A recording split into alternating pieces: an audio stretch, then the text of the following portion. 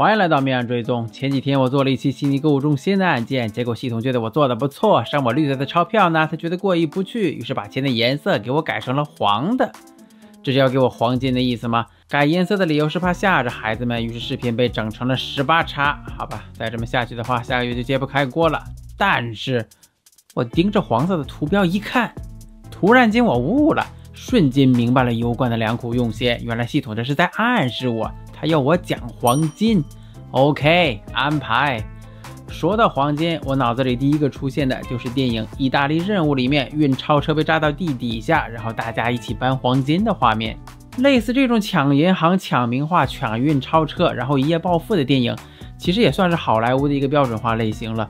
不过事实证明，现实生活中如果真的是要做一片大的话，完全没必要搞那么多高科技。二零二三年，加拿大发生了一起震惊了全球的黄金大劫案。一名嫌犯只用了一辆破卡车和一张纸，就成功的劫走了六千六百块金条和两百五十万加元的现金。所以实际上，你不需要炸弹专家去把大门轰开，不需要有顶级的安全网络专家去帮你破解密码，不需要全副武装，不需要化妆成特警，更不需要会跳舞，不需要穿过什么激光扫描。你需要的除了一张破卡车跟一张纸之外，就是敢说敢做、抄起家伙直接就干的态度。干什么呀？你这是？直接抢不就行了，费这事干嘛？那么今天我们就一起吃个瓜，聊一聊前几天刚刚被警方破获的，在二零二三年震惊了整个世界的加拿大黄金大劫案。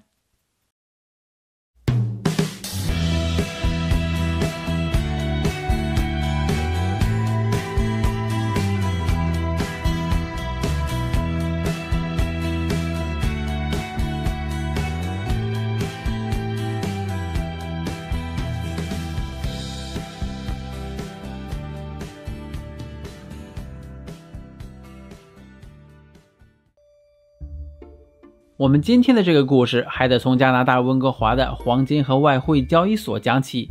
一年前，二零二三年四月份的时候，温哥华黄金和外汇交易所在当时需要一批外币，于是他们联系了自己的商业伙伴，远在瑞士的瑞弗森银行，让他们把自己需要的多种外币空运过来。瑞弗森银行是瑞士的第三大银行，有二百七十家分行，员工一万人左右。他们是温哥华黄金和外汇交易所的长期合作伙伴。这次需要空运的外币总价值大约为两百五十万加元，重量五十三点一八公斤，而且真的就跟电影里演的一样，这些个现金整整装满了三个大麻袋。为了确保长途运输的途中不会出什么幺蛾子，瑞弗森银行这边于是找来了安保公司 Brinks 来负责押运这笔钱。Brinks 是全球知名的安保公司，始创于一八五九年，它的总部位于美国弗吉尼亚州的 Richmond。专门负责黄金、珠宝、艺术品、货币等高价值物品的运输。巧合的是，Brinks 在接下了瑞弗森银行的这笔外汇运输订单之外，另一笔更大的订单找上门来了。瑞士的黄金锻造厂 Volcambi 找到了 Brinks，要求他们帮忙运输一批金条到加拿大。Volcambi 是全球最负盛名的黄金锻造厂之一，制造工艺精良。该公司在经历了多次买卖之后，在2015年由印度黄金和钻石巨头拉杰什出口公司控股。而当时从 Volcambi 订购黄金的这个财大气粗的客户，就是在加拿大的多伦多道明银行，也就是 TD Bank。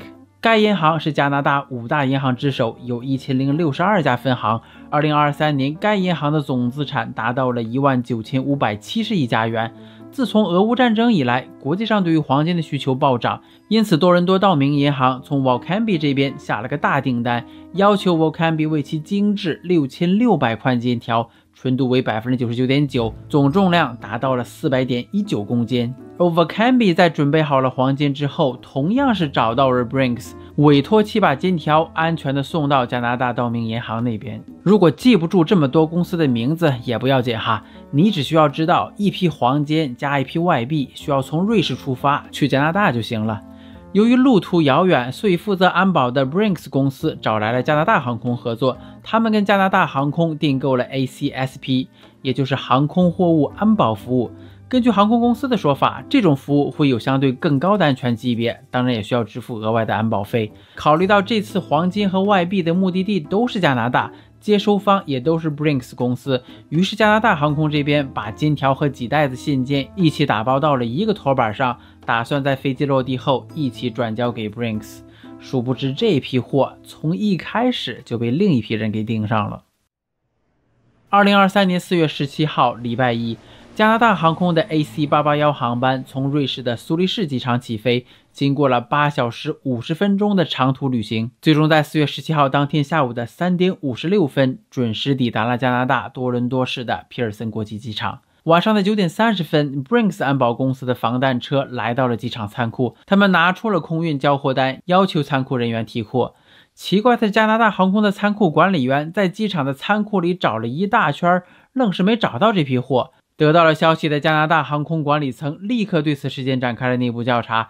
几个小时之后，在四月十八号凌晨的两点四十三分，加拿大航空拨打了报警电话，表示仓库里的金条和外币不翼而飞，请求警方立刻协助调查。Police in Ontario are investigating after millions of dollars worth of gold and other high value items were allegedly stolen from a cargo holding facility at Canada's largest airport. What I can tell you is that on Monday, April 17th, 2023, an aircraft arrived here at the airport in the early evening. As per normal procedure, the aircraft was unloaded and cargo was transported from the aircraft to a holding cargo facility. Once this cargo was offloaded at a holding facility, subsequent to its arrival, this high value container was uh, removed by illegal means from the holding facility. This cargo was reported missing to the Peel Regional Police a short time later. An investigation has commenced. What I can say is that the container contained a high value shipment. It did contain gold, but was not exclusive to gold and contained other items of monetary value. The total worth estimated at this time in our investigation for the property is estimated at just over $20 million. 负责这起黄金失窃案的是当地的 p u 区警局。考虑到这次失窃的是四百多公斤重的黄金和五十三公斤重的现金，总金额超过了两千万加元。所以，Peel 区警局马上意识到事情的严重性，他们从多伦多市各地区警局抽调了十七名精英探员，在加拿大皇家骑警和安大略省犯罪情报处的帮助下，组成了一个特别调查组，由重案组组长 Mike Mavity 牵头，开始了代号为“二十四 K 金”的行动计划。他们首先仔细查看了仓库当天晚上的视频监控，拼凑出了案发的时间线。四月十七号当天下午的三点五十六分，AC 八八幺航班抵达了多伦多皮尔森国际机场。二十四分钟后，下午的四点二十分，机场的行李和托运物品开始被卸下飞机。整个过程持续了将近一个半小时。到了下午五点五十分的时候，这批黄金和外币才被安全的送到了机场的临时仓库里。仅仅过了四十二分钟后，晚上的六点三十二分，一辆白色的五吨卡车倒进了仓库的 G 十二号出货口。根据仓库工作人员的描述，来提货的卡车司机是一个黑人，戴着口罩。他身穿黑色的外套，外加一件蓝绿色的工作马甲，头上还戴着个蓝色的头套。监控里能看到他下车的时候，司机的手里还拿着一叠文件，推测是提货单。进入仓库之后，该司机把一张加拿大航空的提货单交给了仓库一名穿着黄色制服的工作人员，而这张提货单是本案的关键证据之一。乍一看，这是一张正规的空运提货单，各种清关手续、检验工作都已经完成，并且还盖了章。盖章的日期显示的是四月十七号，也就是当天。所以当时的仓库工作人员按照下面的托板单号，也就是 AK 一开头的这一串数字，找到了相应的货物托板。之后，这名工作人员开着叉车，把货物直接送进了卡车里面。在确认了货物进车之后，卡车司机拉下了车门，扬长而去。不过，现在探员们在看这张提货单，一下子就发现了很多漏洞。首先，这张提货单里的货物发出地并不是瑞士，而是从英国的苏格兰发出的。发件人既不是 Walcanby 铸造厂，也不是瑞弗森银行，而是一家名叫 Cook Aquaculture 的海洋渔业公司。收件人这边也对不上去。提货单上打印的收件人是安大略省的一家名叫 All Seas 的海产品运输公司。也就是说，这张空运提货单里的货物其实是一个托板的冷冻海鲜食品，并不是什么黄金和外币。而且从空运单的中间也可以看到，这批海鲜食品它的总重量是一千两百三十五公斤，完全跟金条和现金的总重量也对不上，比他们多出了整整七百八十一公斤出来。在和加拿大航空的货运主管确认之后，警方得知这张提货单所有打印出来的部分都是真实的，只不过盖章和手写的部分是假的。这批海鲜货物的确存在过，它的检验和清关日期是在四月十六号。在四月十六号当天就被提走了，而劫匪再把这一份海鲜提货单重新打印了出来，然后盖了个假章，把日期改成四月十七号，最后再写上黄金和外币的那个托板号 A K 一三八一四一二七。当仓库的工作人员看到各种手续都有盖章，盖章的日期也没问题后，于是直接就按照托板号把金条和现金提了出来。完全没理会单子上写的收件人和物品到底是不是能对得上，所以劫匪就这么一个人大摇大摆的走进来，而加拿大航空这边还屁颠屁颠的帮着劫匪把金条和信件都给人家装上，啊，没准回头还说了句谢谢呢。谢谢啊！在仔细的分析完收货单之后，警方在第一时间就确定这是一起精心策划的有组织犯罪，不仅仅是一个人就能做出来的。根据安保公司 Brinks 提供的证据，他们公司是在四月十四号，也就是货物到达的三天前，才通过电子邮件跟加拿大航空确定了他们要订仓以及需要托运的货品。而四月十七号货物就被盗，能在短短的三天之内就规划好如何分工、如何抢劫、如何逃离现场、如何销赃等一系列复杂的问题。单靠着卡车司机一个人是绝对无法做到的，所以警方认为加拿大航空里面绝对是有内鬼，这一点不需要怀疑。因为警方通过分析打印纸张的墨水和打印机型号，确定这张提货单本身就是从加拿大航空内部的打印机打印出来的，而且打印提货单的人一定是相当熟知整个提货流程的。劫匪知道打版好的货物通常都会被黑色的保鲜膜包起来。从外面看的话，根本分辨不出来里面装的到底是什么货。劫匪还知道，机场仓库的人忙起来的话，通常只会关注盖章的日期和托板编号，根本不关心里面的货是什么。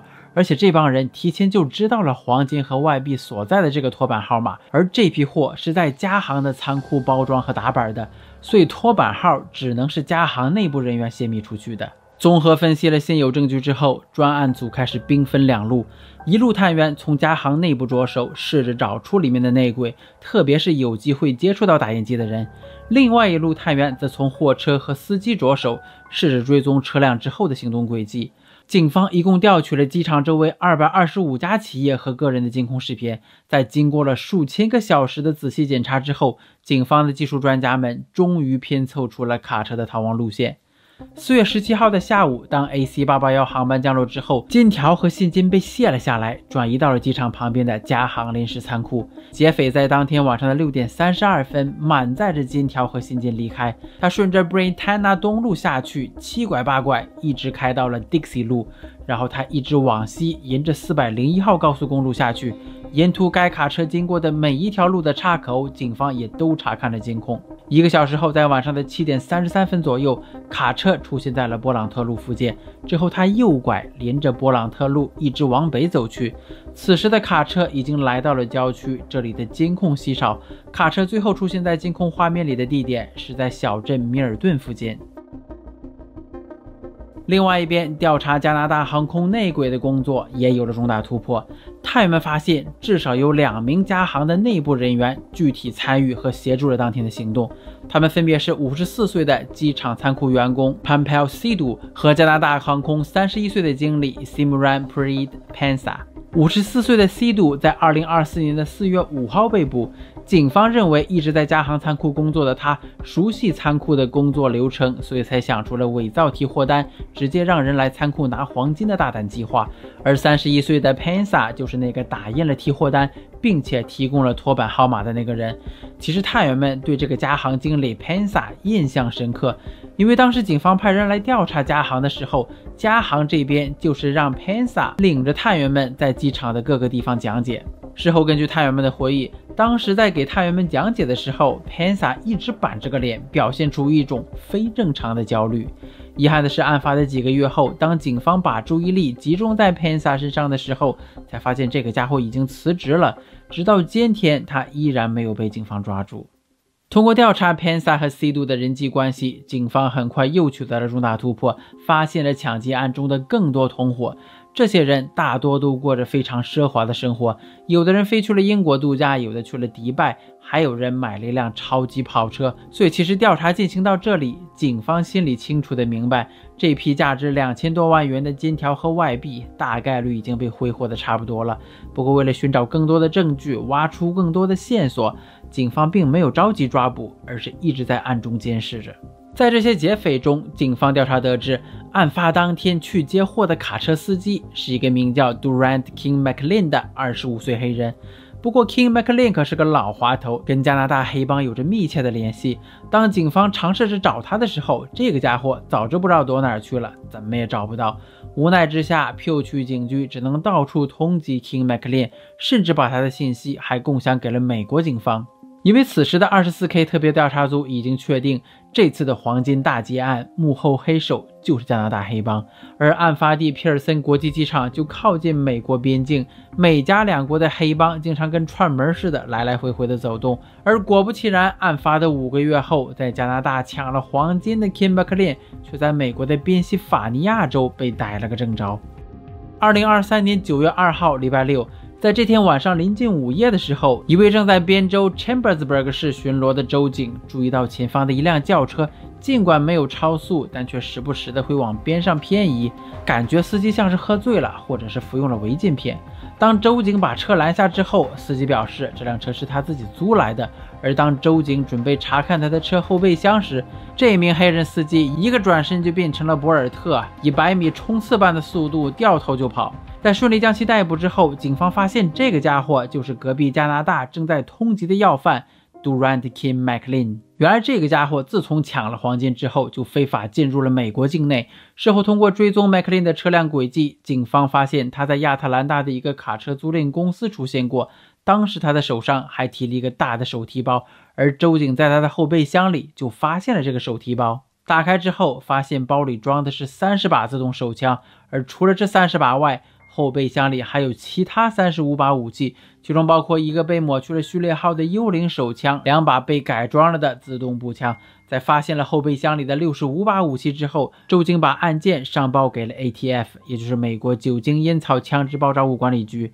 ATF 的特工们在调查后得知，King McLean 近期一直在美国的宾州、佐治亚州、佛罗里达州等州从事军火生意。后备箱的这六十五把枪里，有五十四把是他自己花钱买来的，十一把是偷来的，而枪支的输出目的地就是加拿大。抓捕了 King McLean 之后，ATF 跟加拿大的 Peel 区警局通报了情况。为了共同打击帮派犯罪，两个不同国家的不同部门开始在这个案件上通力合作。共享情报资源。ATF 经过调查后发现，黄金大劫案里至少还有三名成员一直在给身在美国的 King McLean 提供资助。他们分别是美国公民 Jalisa Edwards，时年二十五岁；加拿大公民 Archie Grover，三十六岁；加拿大公民 Prathas Paramalingam，三十四岁。其中 Paramalingam 是主犯，他不仅找了蛇头，让 King McLean 可以自由自在的在美加两国来往。而且还负责给 King McLean 提供资金援助，帮助他在美国购买枪支，再运回到加拿大。而 Edwards 和 Grover 则帮着 King McLean 销毁证据。几个人在黑帮的操纵下，已经形成了一套完整的方案手法。另外一边，Mark m a v i t y 探员领队的加拿大警方也取得了重大战果。虽然他们并没有公布是怎么找到那辆运输黄金的卡车，不过网上的资料显示，加拿大另一边的纳奈莫市的皇家骑警。曾经在黄金大劫案的两个月前，二月十三号公开寻找过一辆被盗的五吨白色卡车。这辆车是加拿大黑桃 A 快递公司的货车，估计被盗的时间是二月十一号到二月十三号之间。假如这辆车就是劫匪当天使用的那辆，那么他走的路程可远了。从纳奈莫市到皮尔森国际机场，全程是四千多公里，要开四十多个小时才能到。在审问了五十多位嫌疑人，执行了三十七个搜查令之后，加拿大警方在黑帮的多个窝点找到了大量的物理证据。其中包括现金四十三万加元、六个大金镯子总价值八万九千加元，以及在犯罪窝点发现的多个黄金切割工具、浇筑工具等。结合上面提到的那六个大金镯子，警方怀疑那六千六百根金条多半早就化成金水，变成其他物品了。The reality of crime today and the criminal networks that we see is they do not specialize. So you take profits from one criminal venture and then invest them into others. And you know, we've had a lot of conversation. One of the reasons why this investigation is so important is not only has it resulted in finding some of the people responsible for this theft, which was an incredibly large theft, but it's prevented firearms from coming into our country. Again, like in relation to the outstanding gold, this investigation is, is not complete. Um, the reality is, as we've seen from what we have recovered, it's been transitioned into profit. So now the investigation will move to the proceeds of this crime. And I would maybe invite uh, Detective Sergeant Mavity up to speak a little bit more about that.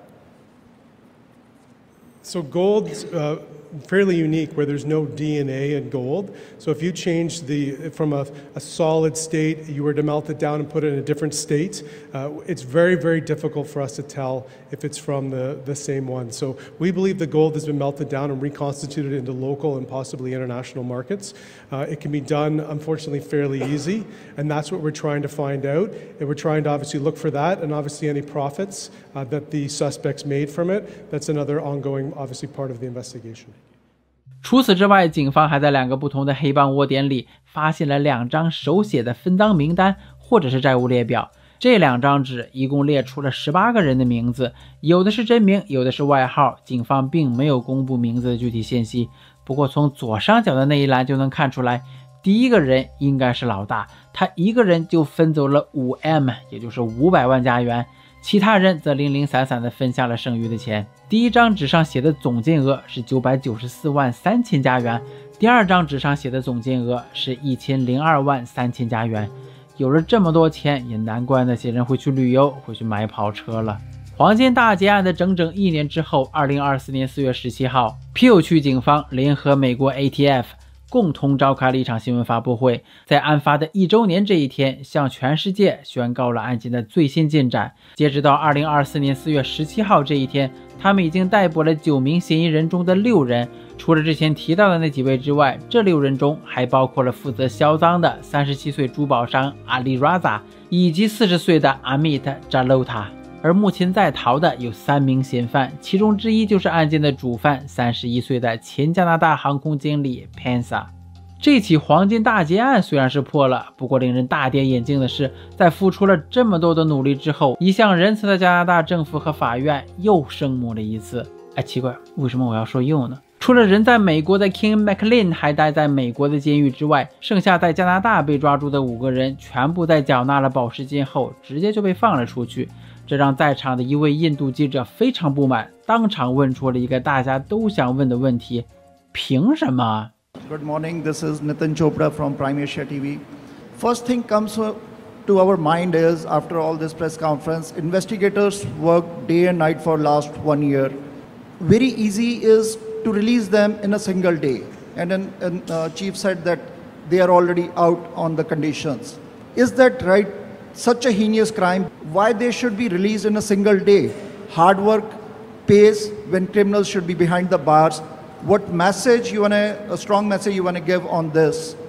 Um, so it does frustrate us, without a doubt. Uh, but as you know, you know we're one part of the system. Our, our goal is to ensure that this case uh, withstands probably a very lengthy court process that's uh, yet to begin. And um, you know, how individuals are released is a, is a frustration. We have highlighted the fact that there wasn't just a theft, it's a dotted line correlation to public safety being compromised here. But um, it is a very frustrating thing for our members, no doubt, but uh, it is part of the environment here in uh, Canada. Uh, Chair Nando, want to add something on this? Thank you very much. And what a great question. And um, it, it speaks to our frustration. You know, these are the people that investigate crime and lay charges. We're not the judiciary, we're not the federal government, we're not the provincial government. We don't pass the legislation on bail, bail reform, et cetera, et cetera. I'm sure it's no surprise. Many of you have noticed that when the time comes that a vehicle's stolen, for example, like mine was from my driveway as well, it's always very young kids. Because organized crime targets them because they know it's just a young kid that made a dumb mistake. And so, really, do we want to get them started in incarceration? So it becomes a revolving door. It sounds like a joke, but my friend in the media know it's true. There was one instance where, with regards to a carjacking, organized crime, the individual, poor fella, the judge said, okay, we'll put you out on bail. He walked into the courthouse parking lot and stole another car. You can't make this up. 虽然这起黄金大劫案还有三人在逃，但警方表示，实际上他们已经得到了线报，大概知道了逃犯的位置。预计在这么大的宣传力度之下，抓住剩下的三个人也不会需要太久。而有意思的是，警方在这边忙着的时候，作为安保公司的 Brinks 却和加拿大航空这边开始撕巴了起来。黄金被盗的六个月后，二零二三年十月六号，Brinks 一纸诉状把加拿大航空告上了民事法庭。他们表示自己已经把货物的内容清晰地发给了加拿大航空。清楚地写明了货物是金块以及纸币，并且特别说明这一批是贵重货物，需要特别监管。而且为了确保货物安全，Brinks 也使用了加航的 ACSP 服务，也就是航空货物安保服务。Brinks 表示，当劫匪进入了加航的仓库之后，加航方面没有适当的安全协议或功能来监控、限制。或以其他方式监管身份不明的人对仓库的访问。如果加拿大航空在当时的情况下进行了必要且适当的调查，那么身份不明的人窃取货物的行为应该就可以完全被避免。因此，Brinks 这边要求加航方面赔偿整个货物的价值，共计两千多万加元。作为回应，加航在十一月份发了律师函，否认了 Brink 公司关于安全松懈和疏忽的指控。他们表示。虽然 Brinks 的确是把转运物品正确的申报为黄金和纸币，但是他们却没有申报其价值，连保险都没有买，而且也没有额外支付 ACSP 安全服务费用。加航表示，对方作为一家经常和航空公司打交道的安保公司，Brinks 公司这样做是出于自己的意愿，并且应当充分意识到这样的后果，所以加航这边拒绝理赔。这起诉讼是在加拿大联邦法院提起的，因为国际运输受蒙特利尔公约的监管。由于案件的复杂性和很多不确定性，这起民事赔偿官司不知道要打到多久才能结束呢？那么，对于这次的黄金大劫案，你是怎么看的呢？你觉得是 Brinks 公司代理，还是加行这边代理呢？欢迎在下面的评论区留言分享你的看法。不管怎么样，我是觉得有必要。再刷一次我最喜欢的意大利任务了。跟往常一样，大家要记得照顾好自己。Got the Holy Spirit.